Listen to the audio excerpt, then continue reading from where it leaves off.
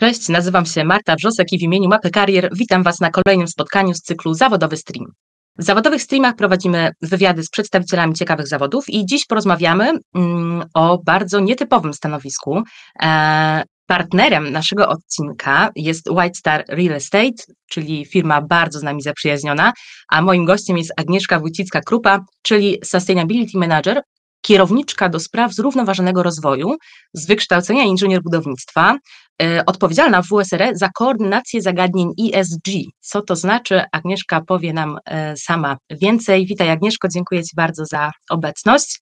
Jeśli możesz pokrótce powiedzieć nam, e, czym się zajmujesz, jakie jest Twoje stanowisko. Cześć Marta, dzień dobry wszystkim. E, dziękuję za wprowadzenie i za goszczenie mnie e, w tym podcaście. E, tak jak mnie przedstawiłaś, jestem Sustainability Managerem e, w firmie Whitestar, która jest e, firmą ze sektora nieruchomości. W praktyce moje obowiązki oznaczają to, że pracuję, żeby tworzyć budynki, które będą przyjaźniejsze dla środowiska i lokalnych społeczności dodatkowo w mojej pracy zajmuję się zagadnieniami ESG. Z, z angielskiego to jest Environmental, Social and Corporate Governance. E, po polsku środowisko, społeczna odpowiedzialność i ład korporacyjny. Te hasła ostatnio coraz częściej są słyszalne, gdyż prawo unijne wprowadza to, żeby legislację, żeby E, firmy przykładały większe znaczenie e, tym trzem e, aspektom. I to jest moja rola zarówno w White Star od strony korporacyjnej, jak i dla naszych budynków i tego, co tworzymy. Mhm. Agnieszko, to z tego, co, co powiedziałaś, chodzi o to, żeby mm, jakby jak najbardziej E, w taki sposób dobry dla świata, dla społeczeństwa, dla ludzi, e, po prostu biznes się rozwijał, tak? Czyli tak jakby ty dbasz o to, żeby te wartości e, pozostawały w jakiejś takiej w miarę równowadze, no do oczywiście celów biznesowych danej firmy.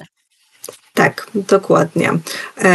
To jest jednak też działamy w sektorze biznesowym, więc to jest wszystko w ramach działań, które i tak firma prowadzi, ale chodzi o to, żeby polepszać i rozwijać się. Akurat w White Star mamy dużo części jako w DNA, wcześniej nie nazywało się to ESG, częściej Sustainability. E, kiedyś ta praca związała się też dużo ze certyfikacjami środowiskowymi mm, budynków, takimi jak BREEAM, LEED, WELL. Są to już e, typowo certyfikacje wielokryterialne, e, robione przez zewnętrzne e, firmy w Anglii e, lub w USA, tak jak Lead czy Well.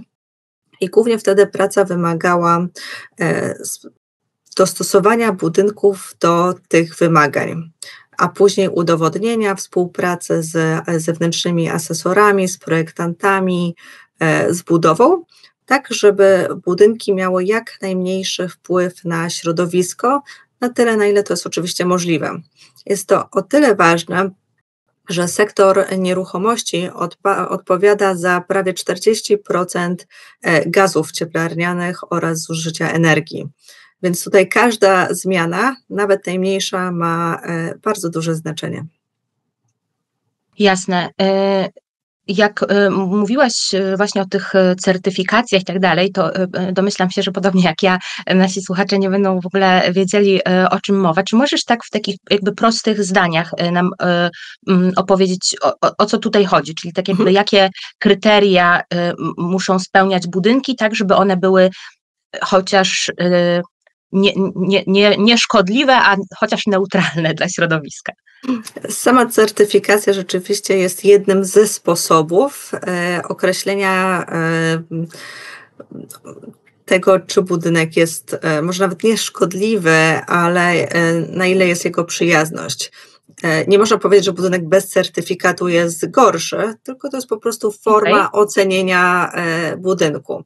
Tak samo e, w każdym z tych certyfikatów jest określony poziom, w zależności od systemu. Są jedna gwiazdka, dwie gwiazdki, trzy gwiazdki. W Brimie to jest od pass przez good, very good, excellent i outstanding. E, w lidzie jest tam silver, gold, platinum. To, to nie ma znaczenia, bo po prostu każdy mhm. ze schematów e, ma swoją strukturę ocenę. I każdy z nich trochę na co innego patrzy.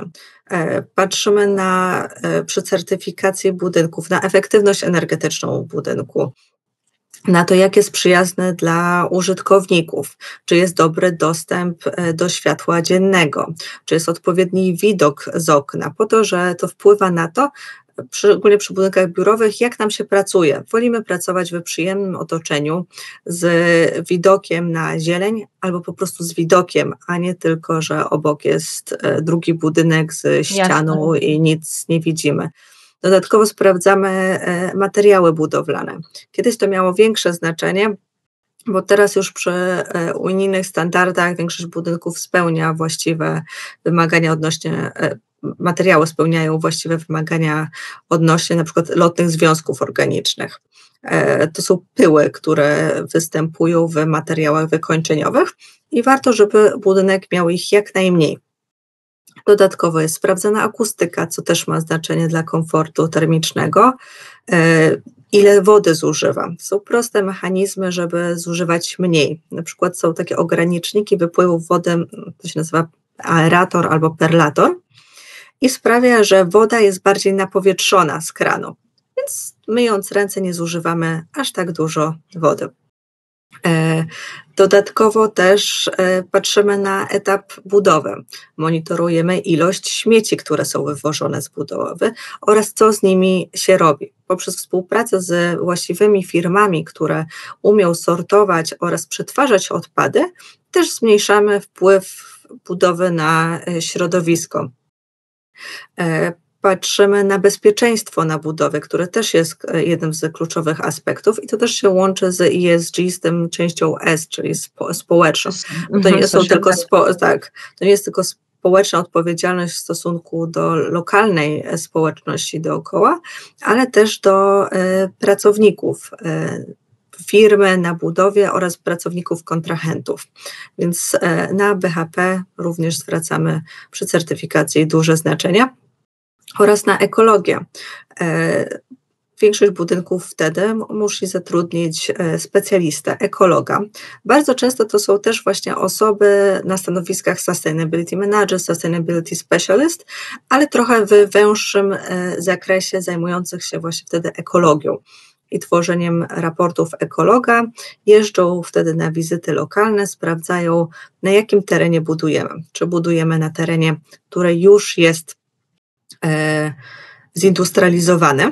To są tak zwane brownfieldy, czy na terenie, który wcześniej był całkowicie zielony, na przykład e, na łące.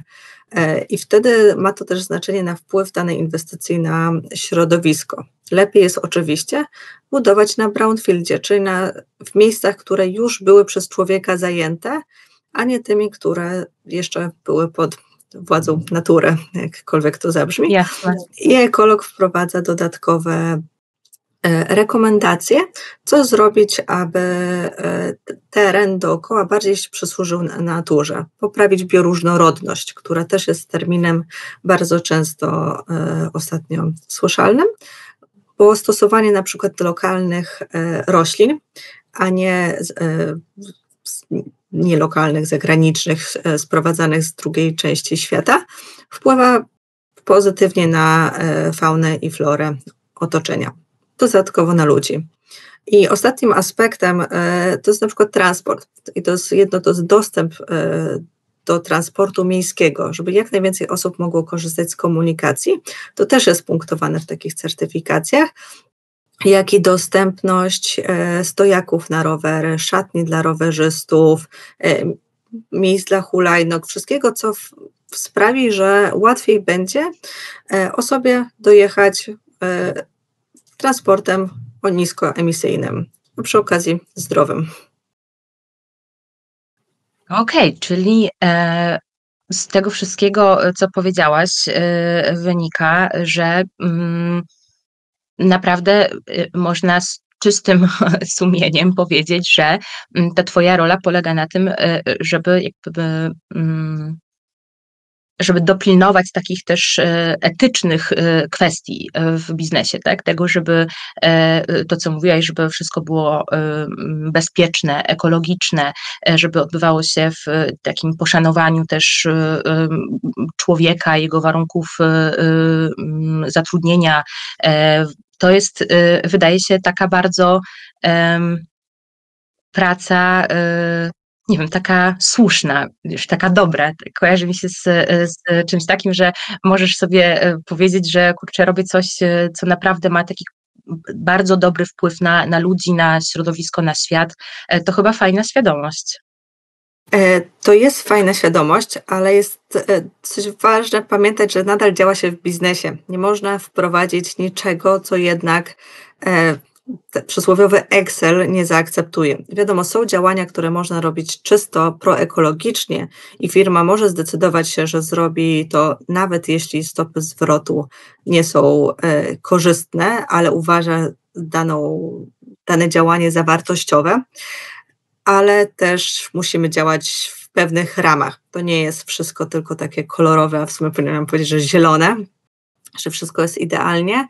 E, ale tak, dla mnie to jest akurat bardzo wa ważna część e, tej pracy, że e, mogę się przyczyniać do tego, żeby otoczenie było trochę lepsze, trochę mniejsze, żebyśmy mieli wpływ na zmiany klimatyczne i, i kryzys klimatyczny, który jest dookoła. Tylko trzeba mieć też trochę takiej twardej i zdroworozsądkowego podejścia, żeby móc e, w tym dobrze działać i się nie wypalać. Bo to rozmawiałam z koleżanką, że na przykład jeśli ktoś ma jest bardziej jak aktywista, chciałby działać w fundacjach i działania takie bardzo duże, konkretne, ale też bez pola do negocjacji, do jakiegoś kompromisu, to tu jest trochę ciężej. Trzeba umieć to wypośrodkować gdzieś krok po kroku, e, coś zmieniać, ale no, nie zmienimy naraz świata. Okej, okay, to y, bardzo ciekawe, co powiedziałaś, bo y, wydawać by się mogło, że taka praca właśnie y, no, gdzieś tam po części nawet ideowa, nie będzie tym zagrożona, a jednak y, y, mówisz, że zdarza się tutaj y, jakieś takie wypalenie zawodowe niektórym. Tak, jeśli ktoś ma właśnie e, bardzo takie chęci i sądzi, że naprawdę zmieni świat i że to będą gigantyczne zmiany, e, to może to wpływać na to, dlatego mhm. że stykamy się z biznesem, z rachunkowością, e, z tym, że po prostu, przynajmniej w sektorze, a to nie tylko w sektorze nieruchomości, jakby każdy ESG manager czy sustainability manager w firmach, to są też osoby w firmach kosmetycznych, transportowych. Aktualnie prawie każda firma e, i działalność potrzebuje większa e, takiej osoby. I wszystko jednak musi gdzieś na końcu się spinać. Zarząd musi dane elementy poprawy zaakceptować. Więc to nie może tak być tak, że nagle działalność nie będzie korzystna e, finansowo, e, ale moim zdaniem i tak jest to bardzo właśnie satysfakcjonujące, bo każda zmiana e, ma znaczenie i ma duży wpływ. Właśnie przy sektorze nieruchomości naprawdę ten sektor tak działa energochłonnie i jeśli chodzi o ilość śladu węglowego, który zostawiamy profesjonalnie po sobie, że ja się cieszę, że e, mogę zmniejszać chociaż trochę. Jasne, czyli e, nie rewolucja, a ewolucja, czy tam nie romantyczny zryw y, i, i wielkie czyny, tylko praca u podstaw pozytywistyczna tutaj, taki krok po kroczku. Mm, kojarzy tak. mi się w ogóle takie, taka sentencja, którą przypisuje się e, twórcy scoutingu, Robertowi e, Baden-Powellowi, który mm, powiedział, e, żeby starać się zostawić po sobie świat trochę lepszym niż go zostaliśmy. Czyli to jest, prawda, dokładnie to, co ty mówisz, że jakby choć troszkę lepszy, chociaż e, ten e, o jakiś tam procent e, mniejszy ten ślad węglowy. No to naprawdę powiem Ci szczerze, że dla mnie jest niesamowicie inspirujące. To pewnie słychać, że To dla mnie jest naprawdę niesamowita praca, którą wykonujesz i wykonujecie w ogóle na tych stanowiskach. Mm, Agnieszka, a czy możesz powiedzieć, czy możesz powiedzieć, proszę, w takim praktycznym wymiarze, e, jak wygląda Twój dzień pracy, bo wiemy już jakby jakimi zadaniami się ogólnie zajmujesz, a tak zupełnie na co dzień, jak rano przychodzisz do pracy, to, to, to co się dzieje, co robisz przez cały dzień? Mój dzień pracy trochę się zmieniał w ramach e, tego, jak moje stanowisko się zmieniało. Więc e, kiedyś na początku dużo więcej miałam pracy czysto przed komputerem i wręcz trochę czasem samotnej. To było dużo, e, pomimo spotkań z projektantami, wizytacji na budowie, e, koordynacji z różnymi ludźmi, to też dużo pracy było typowo przed komputerem. Tworzeniem raportów, tworzeniem prezentacji, e, obróbką dokumentów, koordynowania na mailach. Coraz więcej jednak jest nie tego, że my się spotykamy wszyscy w salkach, ale jednak dużo ustaleń idzie mailowych. I to wymaga sporej koordynacji i pracy przy komputerze. E, z biegiem czasu, jak nasz zespół też się rozrasta, e, moja praca robi się coraz bardziej spotkaniową pracą i tworzeniem prezentacji, rozmawianiem też z inwestorami, bo teraz jest taki moment, że e, jest trochę przełomowy, bo dopiero wchodzi ta legislacja unijna, która wymaga raportowania tego niefinansowego, czyli właśnie czynników ESG od dużych korporacji. Więc to jest nowe, wszyscy tego się dopiero uczymy. E, stąd ta praca robi się bardziej taka komunikacyjna, ale nadal jest bardzo dużo e, obróbki dokumentów, przygotowaniu rzeczy na komputerze. Okej. Okay. To w takim razie pociągnijmy ten wątek, y, y, jakby patrząc na te Twoje codzienne zadania mm, zawodowe, jakich y, kompetencji, jakich umiejętności Twoje stanowisko wymaga? To z kompetencji twardych. I teraz tak, dla sektora nieruchomości, według mnie osoba zajmująca się ESG powinna e, posiadać pewne rozumienie spraw technicznych. E, jest to pomocne, jakiś zmysł inżynierski, bardzo dobre jednak jest to wykształcenie na takim poziomie, ale to głównie jest ważne właśnie przy sektorach nieruchomości albo technicznych, dlatego że u nas dużo zmian, które muszą być zrobione, są w literce E, czyli tej środowiskowej, która wymaga zmiany systemów oraz zrozumienia fizyki budowli. W przypadku e, sustainability managerów trochę z innych branży niż czysto budowlana, wydaje mi się, że aż tak to przygotowanie i zmysł inżynierski nie jest aż tak potrzebne, chociaż jest pomocne, bo jednak zawsze te e, części każdy jest w jakimś obiekcie, nawet firmy, które zajmują się produkcją, muszą zmienić tą produkcję, więc też muszą zmienić swoje czasami procesy technologiczne, wiedzieć e, o źródłach nieodnawialnych. Tego wszystkiego da się nauczyć, ale pewne kompetencje i zmysły są tutaj e, takie ścisłe, jednak potrzebne. Dobra organizacja zadań e, i pracy z uwagi na wielozadaniowość tych wątków. Często dużo rzeczy trzeba robić naraz oraz o różnej tematyce. E, umiejętność wyszukiwania informacji, szukania informacji, e, wybierania tego, co jest najważniejsze, czyli research. Też trochę dlatego, że to jest nowy zawód. E, obsługa programów MS Office to chyba jest standard w większości zawodów aktualnie oraz chęć poznawania nowych programów. Coraz więcej jest programów, które pomagają nam z obróbką danych, bo tych danych potrafi być bardzo dużo tutaj, ale MS Office jako e, podstawa.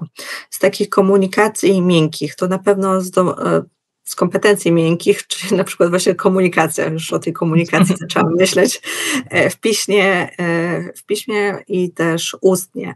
E, dlatego że te zagadnienia nie są jasne dla wszystkich, musimy e, umieć je dosyć klarownie przekazywać innym, e, często zarządom. Na tym stanowisku często się pracuje wprost z zarządem, z osobami, które muszą mieć jasno, klarownie, ale też dosyć szybko przekazane informacje.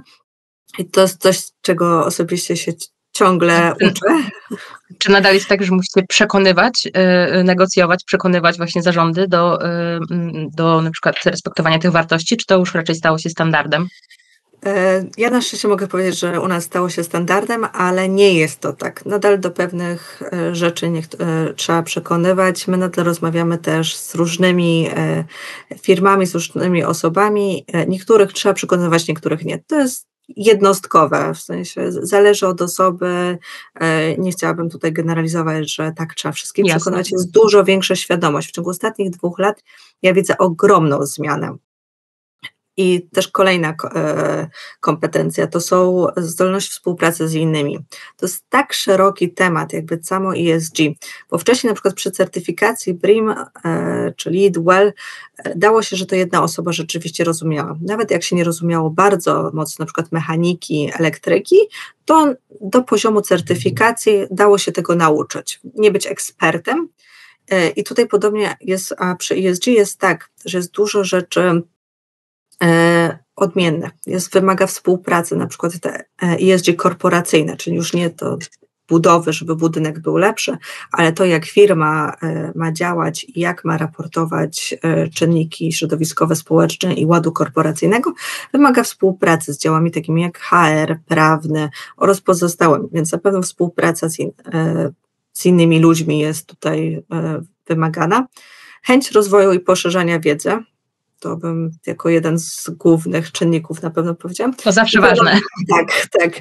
I pewna wrażliwość na te tematy społeczne, środowiskowe. Przez to, że jednak to wymaga nadal często tłumaczenia innym, to wydaje mi się, że osobie, na, dla której te tematy nie są ważne osobiście, może być ciężko przezwyciężyć e, to i, i przetłumaczyć to dalej. To tak mhm. tak na szybko. Mhm, jasne. E, y, tak, no na pewno jak się ma przekonanie do tego, to e, pewnie jakoś tak e, łat, łatwiej to wyczuwają nasi rozmówcy. A jeśli mogę jeszcze powrócić troszkę, bo powiedziałaś, mm, wskazując takie kompetencje twarde, o wykształceniu. Wiem, że ty jesteś z wykształcenia mm, inżynierem budownictwa. Czy możesz właśnie opowiedzieć o tym, jaka Mm, ścieżka edukacyjna była, jaka ścieżka edukacyjna doprowadziła Cię do tego miejsca, w którym jesteś teraz, albo ewentualnie czy masz jakieś rekomendacje, jakie y, kierunki trzeba by było skończyć, żeby się znaleźć na takim stanowisku, czy, y, czy te studia wyższe są koniecznością, żeby wykonywać taką pracę? E, tak, to najpierw mogę zacząć o swojej drodze, a później e, powiedzieć innym. E, ja skończyłam maturę międzynarodową IB, chociaż ona tutaj nie jest konieczna, chociaż moim zdaniem jest bardzo przydatnym momentem w życiu, a następnie studia inżynierskie i magisterskie na Politechnice Warszawskiej na Wydziale Inżynierii Lądowej właśnie z budownictwem.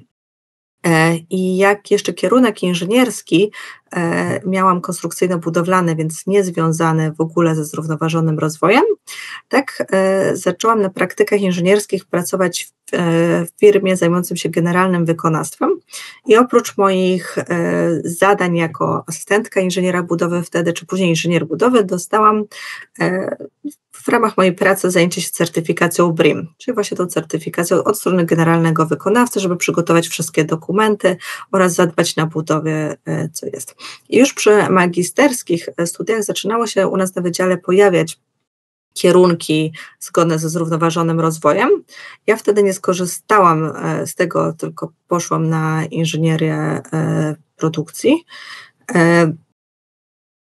ale pracę magisterską już pisałam właśnie z, e, związaną ze zrównoważonym e, rozwojem i efektywnością energetyczną budynku.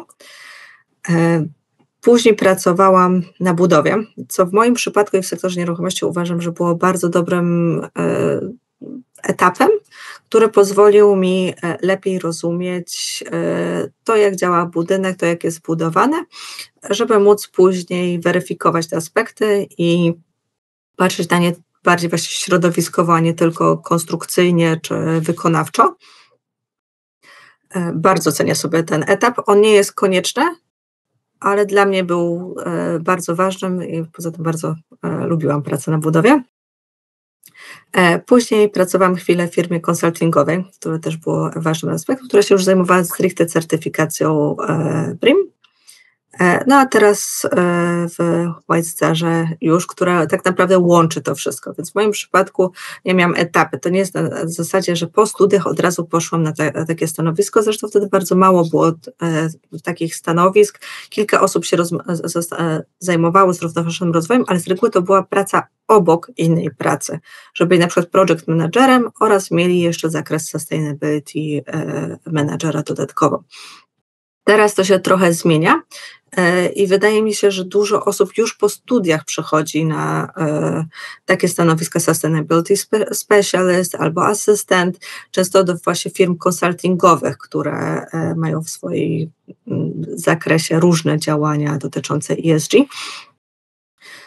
I tutaj wykształcenie może być właśnie e, inżynieryjne, e, inżynieria środowiska, inżynieria budowlana, ale również architektura, wydział elektryczny, energetyka, technologie energii odnawialnych, e, ochrona środowiska, prawnicze. Też coraz więcej prawników specjalizuje się w ESG. To już nie jest wtedy tylko, że ma pełne ESG, tylko od strony prawnej, ale to też jest jednym z aspektów tej pracy. Oraz bardzo często osoby post z kierunków CSR-u czy compliance e, przechodzą też do ESG. Tak jak mówiłam, to jest bardzo multidyscyplinarne, więc tych ścieżek dojścia do tego momentu jest wiele i zależą też od branży, w której chce się iść. Jasne. E, dzięki wielkie. Tu e, wiele cennych podpowiedzi. a powiedz, czy mm, w tym zawodzie jest tak, że to wyższe wykształcenie e, jest wymogiem i, i pracodawcy e, jakby po prostu go wymagają, czy też raczej go e, mm, oczekują bardziej, ale nie jest to zupełnym takim obowiązkiem. Jakbyś powiedziała, czy, czy to ukończenie studiów jest tutaj konieczne, czy można liczyć na taką karierę bez studiów wyższych? Wydaje mi się, że jest na razie konieczna. E, mhm. To, tak, jakieś podstawy. Nie mówię, że to musi być magister, można też zacząć pracę w trakcie studiów. Na razie większość osób, które znam, które się zajmują, chyba wszystkie osoby, które znam, mają jednak wyższe wykształcenie. E, jest mniej kursów. Tutaj tak naprawdę, żeby do niektórych zawodów wystarczą kursy, żeby się przyłączyć. Tutaj jest trochę też kursów, ale też zaczynają być studia podyplomowe. Żeby pójść na studia podyplomowe z ESG, E, jest wymagane jednak jakieś wyższe wykształcenie.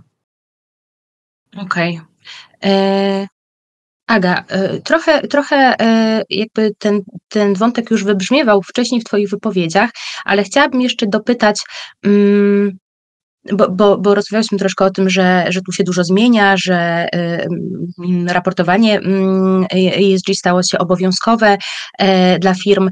I teraz w związku z tym, jak y, y, sądzisz, jak ty to widzisz ze swojej perspektywy, y, jakie tutaj są możliwości przyszłe zatrudnienia w, na takich stanowiskach, w takiej, w takiej dziedzinie, powiedziałabym? Czy to jest mm, taka mm, perspektywiczna branża, czy, czy to jest zawód przyszłości?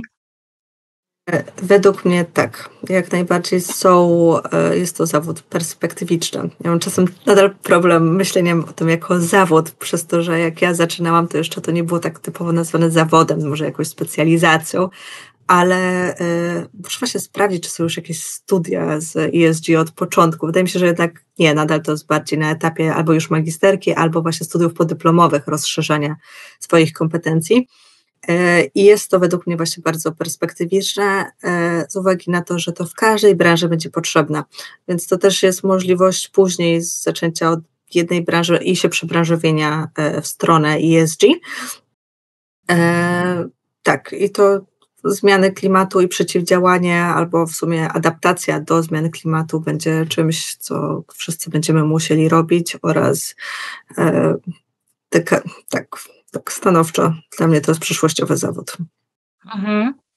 E, jakbym miała Cię zapytać o największe mm, zalety e, i największe wady pracy, którą wykonujesz? Zalety to w sumie też to chyba wybrzmiewało, budowanie tej pozytywnej cegiełki e, do do lepszego świata. To bardzo górnolotnie brzmi. Ja właśnie przez to, że jestem inżynierem e, budownictwa, jestem dosyć też pragmatyczna, e, więc e, co jest wadą i zaletą i nie uważam tego aż za taką gigantyczną rzecz, ale jednak ma to dla mnie znaczenie, w sensie, że też widzę efekty swojej pracy. I to jest też, to jest też, e, czemu ja wybrałam studia akurat z budownictwa. Jest coś dosyć realnego, co łatwo jest dosyć szybko zobaczyć efekt. I tutaj też jest to, to widoczne. Widać też na przykład przy raportowaniu finansowym, jak się raportuje rok do roku, widać jak się poprawiają konkretne wskaźniki. Więc to, jak nasz wpływ się zmienia, e, też na kwestie społeczne. E, I to jest dla mnie największą zaletą tej pracy wadą. Tak naprawdę ja nie widzę, jest duża różnorodność i to jest kwestia, czy ktoś to lubi, czy nie. E, ja sobie właśnie to cenię, dlatego dla mnie różnorodność jest zaletą, a nie wadą, ale e, pewna taka pobieżność tematów. Nie można być ekspertem w całym ESG. Zawsze trzeba jednak korzystać jakby z pomocy specjalistów w danych literkach, e, co znowu może być wadą i zaletą. Okej. Okay. E, e, Aga, a pieniądze? Jakie pieniądze są związane z, z czynieniem dobra w biznesie? Czy te pieniądze e, są wadą czy zaletą? Czy, czy możesz nam zdradzić cokolwiek o wynagrodzeniu na Twoim stanowisku? Oczywiście swojego i jak to wygląda w mojej firmie nie, nie mogę, to są poufne dane jak e, spróbowałam porównać najłatwiej może do przeciętnego wynagrodzenia, e, które jest obecnie w Polsce, to osoby z doświadczeniem właśnie po studiach wyższych, z pracą 5 lat na pewno mogą liczyć na lepsze wynagrodzenie niż przeciętne wynagrodzenia e, w Polsce. Dalej to zależy trochę już od tego, czy się zarządza zespołem, czy się pracuje indywidualnie, od wielkości firmy i zakresu obowiązków oraz od branży. To też jest tak, że każda z branży ma trochę inne zarobki. I tutaj też trzeba o tym pamiętać, że wtedy specjalista. Jednak jest to przyszłościowe. W którymś momencie e, wydaje mi się, że jest możliwość awansów, ścieżki rozwoju, jeśli ktoś chce. Chce się douczać, chce się cały czas polepszyć swoje kompetencje, e, to wydaje mi się, że zarobki też z tym będą rosły. Jasne. A wraz z rosnącymi zarobkami, e, jakie tutaj są e, perspektywy awansu, perspektywy rozwoju na tym stanowisku. Mówiłaś o tym, że może na przykład iść w stronę e, mm, zarządzania zespołem, e, tak? Czy, czy jakby w tej chwili istnieją już jakieś takie ustalone kolejne szczebelki awansu, gdzie, gdzie możesz pójść dalej z tego stanowiska, gdzie, gdzie można tutaj szukać możliwości rozwoju? Znowu zależy bardzo od firmy, jak firma nazywa stanowiska. Z reguły, e, patrząc na inne firmy, to często jest Sustainability Assistant albo Sustainability Specialist. E, później czasem oczywiście są dodawane te wszędzie senior, junior i tak dalej, później menadżerowie, później mogą być head albo Sustainability Leader. E, często też później są właśnie ESG Officer nazywane, tak jak już mamy CEO czy COO, to jest ESG Officer, czyli osoba właśnie już odpowiedzialna za całą firmę w aspektach ESG. E, to zależy bardzo od struktury firmy. Jakby jest mi bardzo ciężko porównać to do innych firm, mogę tylko widzieć po ogłoszeniach czy po znajomych. E, jednak jest jakaś to możliwość, w którymś momencie rzeczywiście, szczególnie przy większych firmach, wchodzi zarządzanie już osobami i zarządzanie zespołem.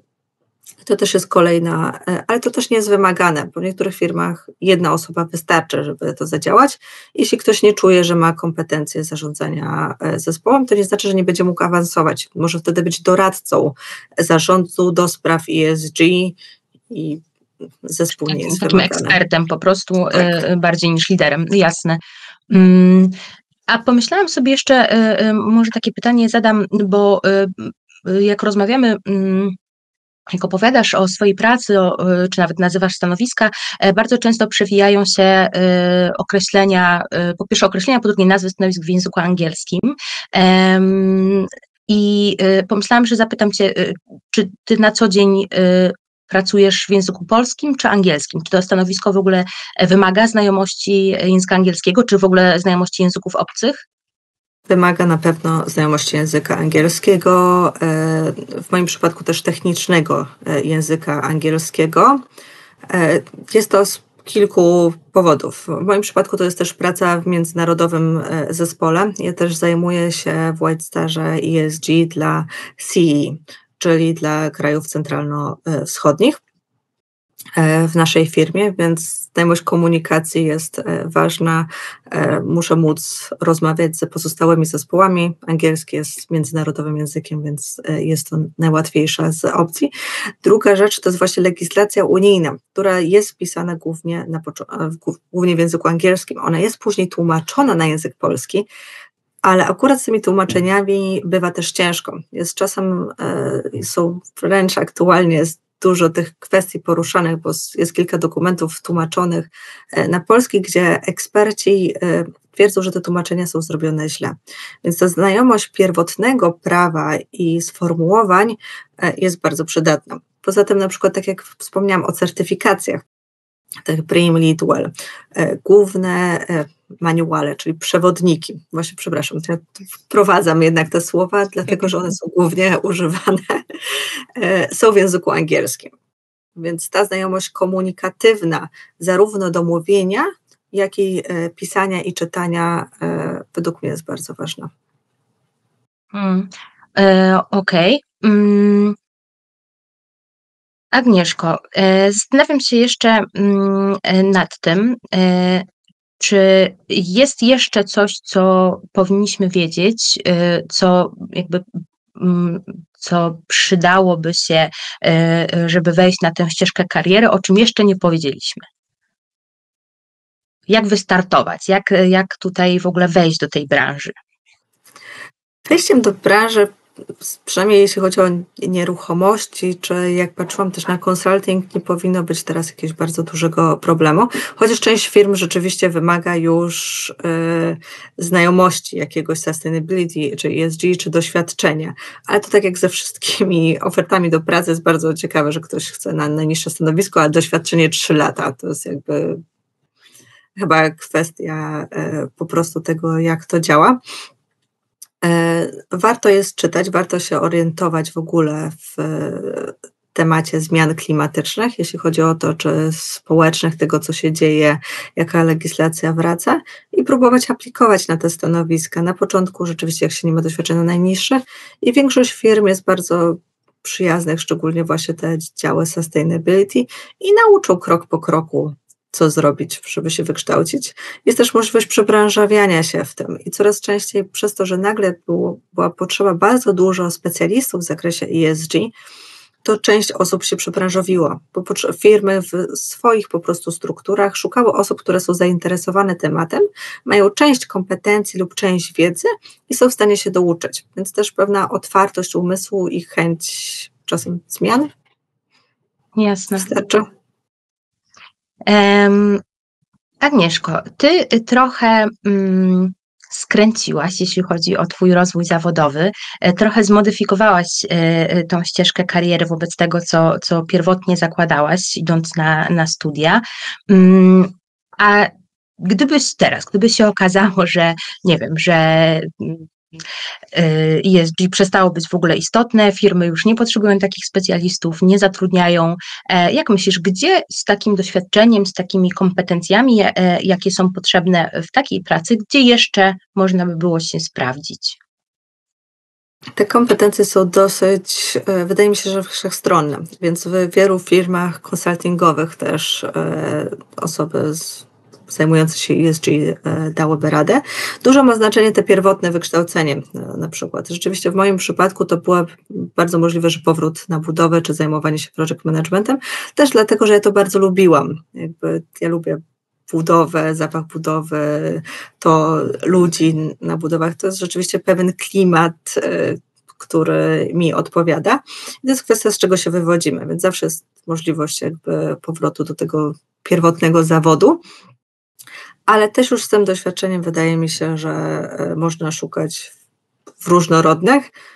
Osobiście e, mam nadzieję, że ESG raczej będzie rosło, a nie się kończyło, więc e, nie myślałam o tym, co dalej. Jasne. E, a y, Powiedz proszę, bo zastanawia mnie, i to też dzisiaj wybrzmiało, Jaka jest różnica pomiędzy, pomiędzy specjalistami zajmującymi się mm, zrównoważonym rozwojem, czyli ESG, a specjalistami zajmującymi się CSR-em, czyli społeczną odpowiedzialnością biznesu? To tak. E, tak naprawdę coraz częściej rzeczywiście te osoby są łączone razem. E, mhm. I osoby z CSR-u rozszerzają swoją e, działalność do ESG. Tak naprawdę CSR to jest literka S w ESG. I znowu, my bardzo często ja przez to, że się wywodzę właśnie z e, inżynieryjnego środowiska budowlanego i bardziej tego środowiskowego E, to bardzo często rozmawiam z osobami, które też współpracujemy właśnie z e, fundacją i tutaj mamy okazję do e, rozmów, które zajmują się CSR-em i odpowiedzialnością społeczną. Te role często są łączone, jednak ESG jeszcze patrzy na części środowiskowe i na ład korporacyjny. W ładzie korporacyjnym też na przykład współpracuje się z IT, bo w ładzie korporacyjnym e, mamy tematy związane z cyberbezpieczeństwem, e, z RODO, czy z politykami prywatności, e, tak samo jak z prawnikami dotyczące etyki, i znowu też czasem się łączy e, literka G, czyli ład korporacyjny z S, na przykład na poziomie poszanowania praw człowieka, gdzie to już jest zarówno musi być to prawnie pokazane, jak i jest to odpowiedzialność społeczna. To jest łączone bardzo. Mhm. E, Okej. Okay. E, Agnieszko, pomału będziemy zbliżać się do końca naszej rozmowy, chociaż ja e, osobiście mogłabym wypytywać jeszcze i jeszcze. Co na koniec, podsumowując, czy taką ścieżkę kariery polecasz, czy e, taką ścieżkę kariery mm, byś zaproponowała e, naszym słuchaczom? Ja osobiście polecam. Tak jak powiedziałam, było mi ciężko, jeśli chodzi o to stanowisko też powiedzenia e, jakichś większych wad. E, rzeczywiście, no czasem jest spalanie zawodowe, ale wydaje mi się, że to w każdym zawodzie jest i każdy z nas naturalnie ma lepsze i gorsze momenty. Czasem jakiś projekt nie wyjdzie, więc czujemy się gorzej, albo później kolejny wyjdzie, więc jest lepiej. E, więc to jest tak jak każdy zawód. E, naprawdę bym go polecała, jeśli właśnie mamy zainteresowania związane z klimatem, ze społecznym, ale też e, nie traktujemy tego jako naszej najważniejszej misji e, w życiu i właśnie tymi małymi cegiełkami, bo to jest ważne właśnie, żeby się nie spalić w tym zawodzie. Kawałek po kawałeku, krok po kroku. I wytrwałość tutaj, i pewna cierpliwość też jest potrzebna. O, to kolejna kompetencja, które trzeba mieć albo się nauczyć. Agnieszko, czego Ci życzyć zawodowo? Zawodowo. Tego, żeby właśnie ESG się nie kończyło oraz żeby świadomość y, ludzi w tym zakresie była coraz większa oraz wiara w to, że nie jest to właśnie kolejny certyfikat, czy tak zwany greenwashing, tylko jest to pewien sposób biznesu, y, żeby podejmować nowe tematy, ważne tematy dla ludzi e, i robić to prawdziwie, a nie tylko sztucznie, żeby marketingowo się pokazać. Bardzo tego tylko marketingowego podejścia nie lubię. Lubię, jak coś jest rzeczywiste, prawdziwe. Więc to poproszę. Oby tak było w takim razie, oby wszyscy e, decydenci wierzyli w to, że zrównoważony rozwój e, jest ważny, jest słuszny, e, a może być też całkiem opłacalny, więc, więc warto, warto go wdrażać, oby się otwierały ścieżki rozwoju dla takich specjalistów jak ty, nie tylko ideowych, ale i trzeźwo technicznie myślących. Aga, ogromnie, ogromnie dziękuję Ci za poświęcony czas. To było naprawdę niesamowicie inspirujące spotkanie. Bardzo dziękuję mm, naszemu partnerowi, e, oczywiście mm, White Star Real Estate. E, dużo dzisiaj mówiłaś o tym, jak można te budynki takie mm, e, eko, ekobudynki tworzyć. White Star wiemy obydwie, że że się stara, że się stara, że rzeczywiście traktuje te, te wyzwania bardzo poważnie. Serdeczne dzięki. Również dziękuję bardzo. A naszych słuchaczy zapraszam do śledzenia naszych y, y, odcinków, śledzenia właściwie do, do słuchania, e, czy też oglądania. Mm, przypominam, że są one dostępne nie tylko na naszym kanale na YouTube, ale także mm, na różnych platformach, na których możecie odsłuchać je jako podcasty. Zapraszamy Was na nasze e, odcinki, które już są dostępne, na kolejne, które będziemy nagrywać. Dawajcie nam znać, jak Wam się podobają i z kim chcielibyście jeszcze takich wywiadów posłuchać. Dziękujemy serdecznie. Dziękuję. Do widzenia.